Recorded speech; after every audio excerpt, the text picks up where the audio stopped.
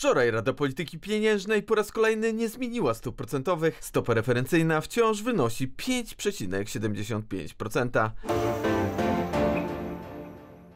Zwolnienie z podatku belki będzie dotyczyło dochodów z rachunku terminowych lokat oszczędnościowych oraz obligacji zapisanych w odrębnionym pakiecie oszczędnościowym, osobno prowadzonym dla obligacji, osobno dla lokat terminowych, zapowiedział dziś wiceminister finansów Jarosław Neneman. Kwota wolna od podatku belki ma wynieść 5250 zł. Wyliczenia opierają się o iloczyn stopy depozytowej NBP na ostatni dzień trzeciego kwartału roku poprzedzającego rok podatkowy i kwocie 100 tysięcy złotych. Obecnie właśnie byłoby to 5250 zł.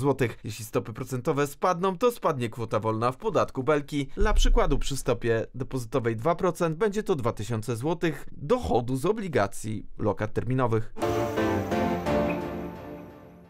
Obecna cena gazu w hurcie jest niemal połowę niższa niż zamrożona cena dla gospodarstw domowych. Ceny gazu na światowych rynkach spadły do poziomu cen z 2018 roku. Rząd zajmie się ustawą wiatrakową na początku czerwca, zapowiedział w piątek wiceminister klimatu i środowiska Miłosz Mutyka. Wiceszef resortu przekazał również, że jeszcze w maju do parlamentu trafi projekt ustawy prosumenckiej.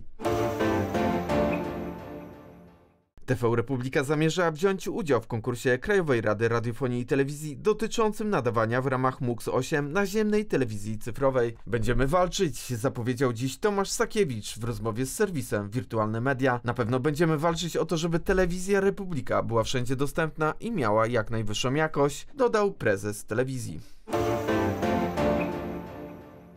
Po 31 latach Lewi Strauss ma zamknąć zakład w Płocku, w związku z czym pracę może stracić nawet 600 osób. To może być jednak dopiero początek problemów polskiej gospodarki. Eksperci wskazują, że czeka nas fala zwolnień. Redukcje na rynku pracy są tym bardziej widoczne, jeśli porównamy je do okresu ostatnich 8 lat, gdy ich niemal nie było. Fabryka aparatów elektrycznych niskich napięć szwajcarskiego koncernu ABB w Kłodzku, który jest jednym z największych pracodawców w regionie, planuje zakończyć pracę pod koniec 2024 roku. Oznacza to, że pracę straci 600 osób. Rada Praw Człowieka ONZ zażądała w piątek wstrzymania sprzedaży broni do Izraela w związku z ludobójstwem w strefie gazy, w której zginęło ponad 33 tysiące cywili. Od początku inwazji na Ukrainę Rosja znacjonalizowała około 180 przedsiębiorstw o wartości 12 miliardów dolarów, przekazało w piątek brytyjskie Ministerstwo Obrony. Ceny domów i mieszkań w ubiegłym roku w Niemczech spadły średnio o 8% w porównaniu z rokiem poprzednim, ogłosił Urząd Statystyczny z Wiesbaden. Był to największy spadek w Niemczech w XXI wieku.